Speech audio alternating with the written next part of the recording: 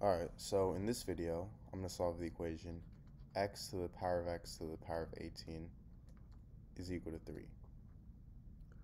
So to solve this, I'm going to first rewrite 3 as the ninth root of 3 to the power of 9. And the ninth root to the power of 9, these two cancel out. So this is just the same thing as 3. I'm not making any changes here. And now I can take this to the power of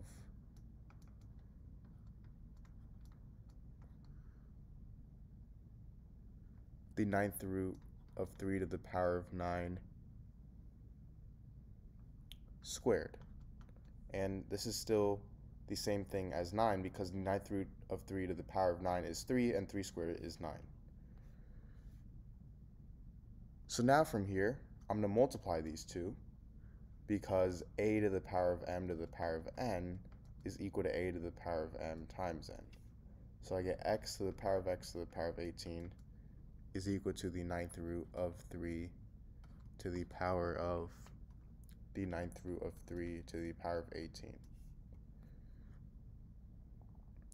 And notice how this is in the form x to the power of x to the power of 18, meaning x is equal to the ninth root of 3.